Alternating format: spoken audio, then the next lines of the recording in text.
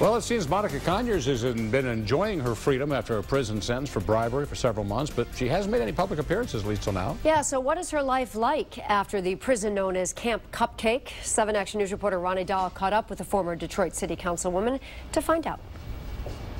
Monica Conyers moved up through the political ranks, becoming the president of Detroit City Council. Then she hit rock bottom, went to federal prison, and now she's home. It's a much deserved tribute. It's been a long time coming. Monica Conyers showing support for her husband John during a tribute for the longtime congressman. She has been pretty much in MIA since returning to Detroit following her release from federal prison this past December. Are you doing good since you're home? Yeah, I, I um, well, I, I run, I walk. I, I um, have to say uh, my friend Tammy and my friend Roz um, started me running a long time ago, and then I stopped, but then I started back, and I did that every day, and I continue to do that now.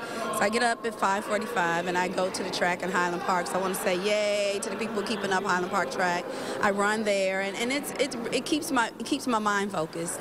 The former Detroit City Council president is still on probation after serving 27 months for bribery. She is still limited in what she can say to the media, but says she's happy to be home and is spending time focusing on her family, her herself and cooking. I love to cook. I made a, I made a cheesecake today for a friend.